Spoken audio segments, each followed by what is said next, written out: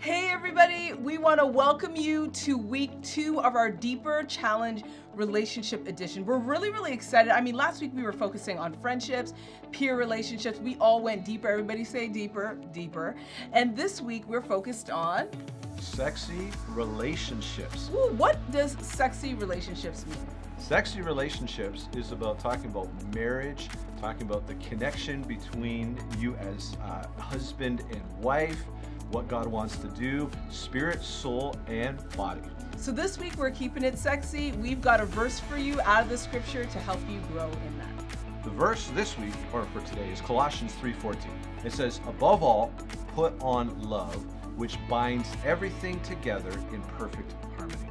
Awesome, so so so good. And this week we have a, or this week, this day, we're going to start off today, Monday.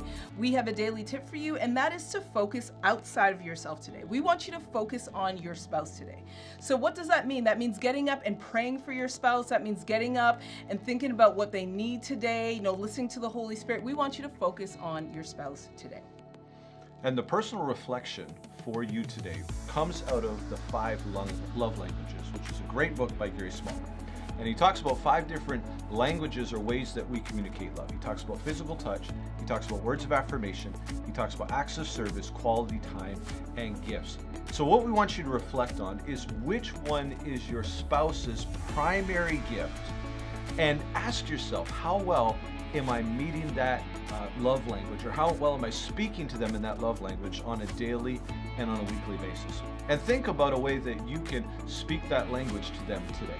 So good, so good. And with that, in our challenges today, we're going to be focusing on those love languages. So, for example, you know, you're going to have an option to do acts of service, you know, words of affirmation, whatever the case may be. So, you have many options to choose from today.